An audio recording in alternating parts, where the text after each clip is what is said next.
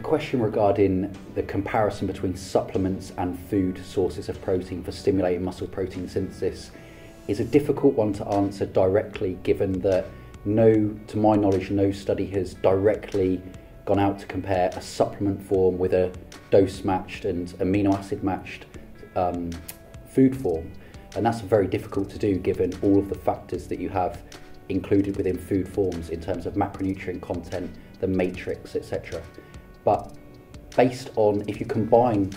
a number of studies and look at the change in muscle protein synthesis compared to a basal situation with the ingestion of either supplement or